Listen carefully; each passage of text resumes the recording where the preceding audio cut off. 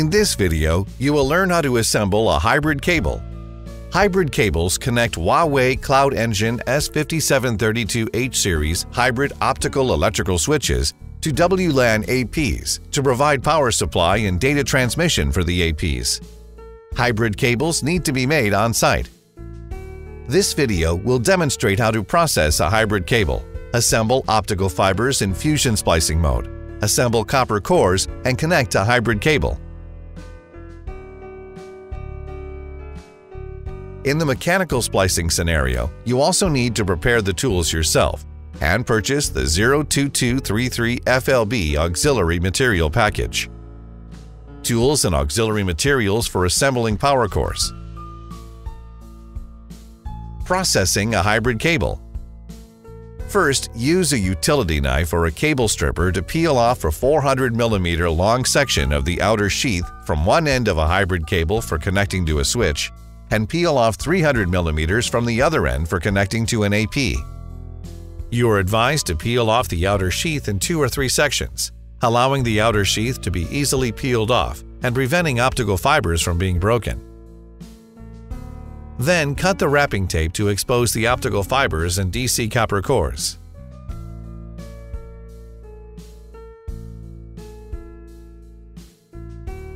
At both ends, Use insulation tape to wrap around the position where the outer sheath is peeled off. Cut the copper cores or optical fibers connected to a switch depending on the side of the cabinet along which hybrid copper fiber cables connect to the switch. Note that electrical ports reside on the left side and optical ports on the right side.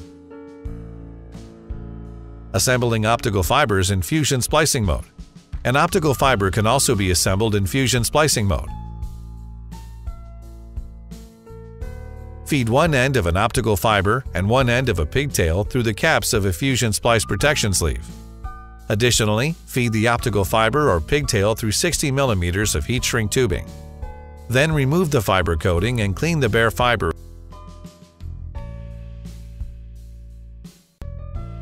You need to purchase the 02233FKY auxiliary material package, which contains the required tools, such as the fiber holder, fiber coating stripper, and fiber clamp. You can also use Miller pliers instead of purchasing this package.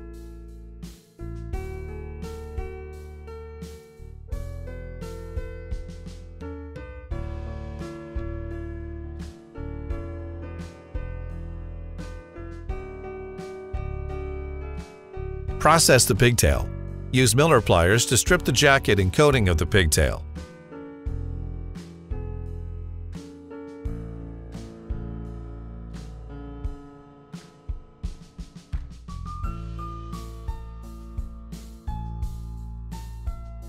Then clean the pigtail using pure alcohol.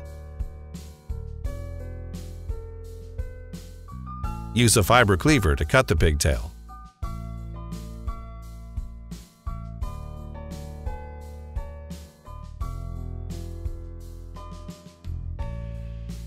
Place the optical fiber and pigtail into a single-core fiber fusion splicer.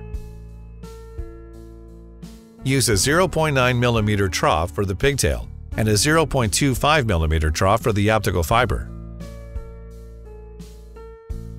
Power on the fiber fusion splicer to fusion splice the optical fiber and pigtail.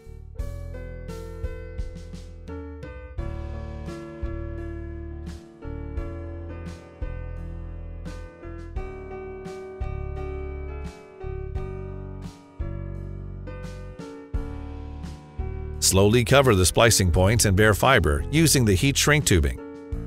Secure the heat shrink tubing to the heat shrink trough and start heating it. When heat shrinking is complete, remove the spliced optical fiber.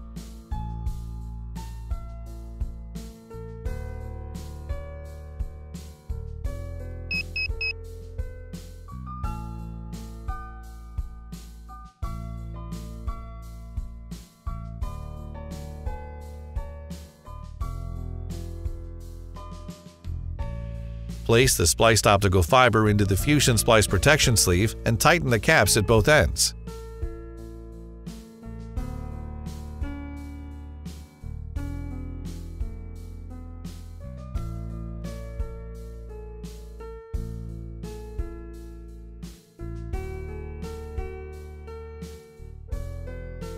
Repeat the preceding steps to fusion splice the other optical fiber. Assembling power cores. Peel 8 mm of insulation coating off each power core.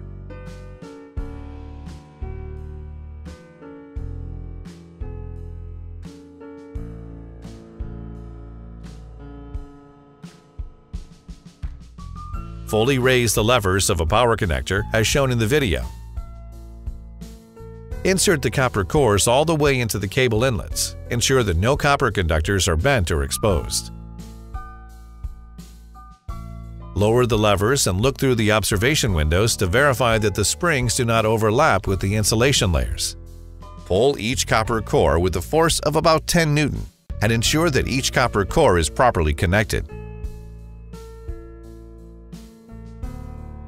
Bind the copper cores with cable ties in the same direction and cut off the excess cable ties.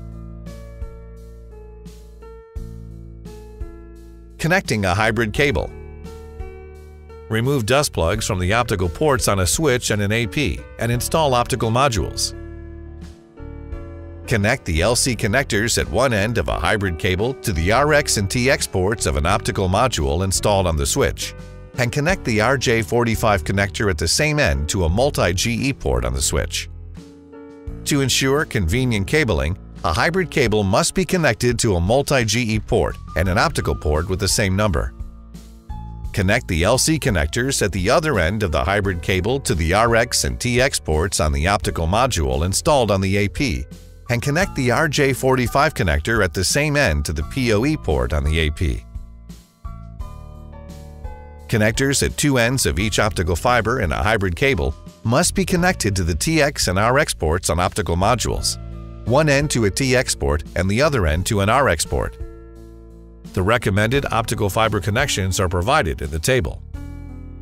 Check the indicators. If the indicator on the AP is on after the cable connection is complete, the AP is powered on and can communicate with the switch.